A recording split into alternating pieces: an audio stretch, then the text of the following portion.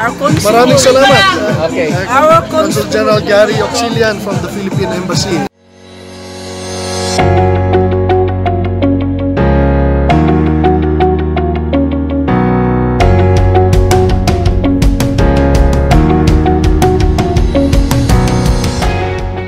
It's indeed a great honor and pleasure for me to welcome you all to the opening of the second uh, season of the Sports Fest here. I...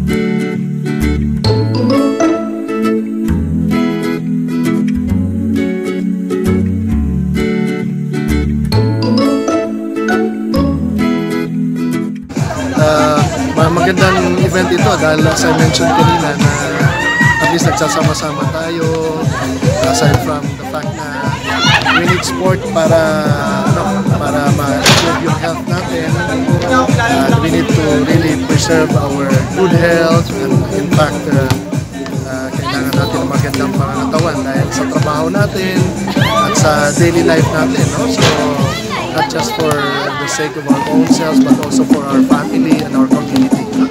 So, commendable talaga itong uh, Sports Fest na initiative ng Philippines natin. At uh, ito ay magandang pagkakataon na, na i-enhance natin yung friendship natin, unity na-achieve din natin yung ating uh, gusto mangyari sa ating kalusugan. No? Okay, sir. So, God bless us all. No? Thank you, sir. Thank you. Thank you. Thank you very much. Thank you also.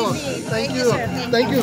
Ito si Doc John, ha? Ah, Papasalamatan din natin. pasalamatan natin. Kay Kima College dahil second time na uh, binigay sa atin ang chance na magamit ang facility. Magandang facility nga rito. Safe tayo rito.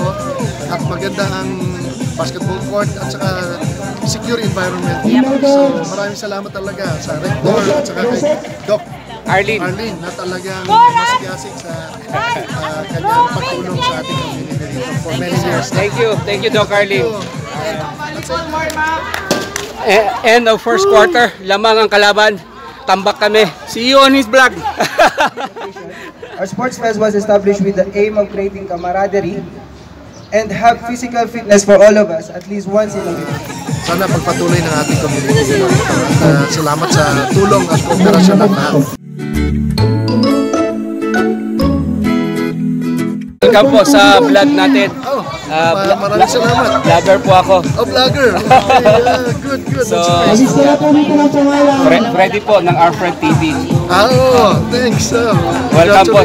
Welcome po. Welcome.